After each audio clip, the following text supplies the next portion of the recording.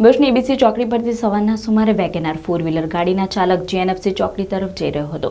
ત્યારે કંઈક ગાડીમાં આગ લાગતા દોડધામ મચી ગઈ હતી.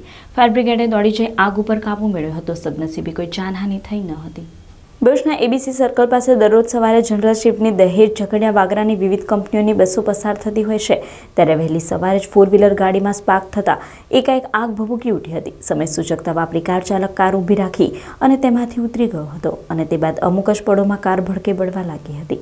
જેથી લોકોના ટોળે ટોળા જામી ગયા હતા અને રસ્તાની વચ્ચોવચ્ચ આગ બેકાબૂ બનતા બસોને અવરજવર કરવામાં મુશ્કેલી સર્જાઈ રહી હતી. ફાયર બ્રિગેડને આ અંગે જાણ થતાં તેઓએ ઘટના સ્થળ ઉપર દોડી જઈ આગ ઉપર કાબૂ મેળવ્યો હતો, જે બાદ ટ્રાફિક હળવો થવા પામ્યો હતો. આગમાં કારને ભારે નુકસાન થયું હતું, પણ સદનસીબે કોઈ જાનહાનિ થવા પામી ન હતી.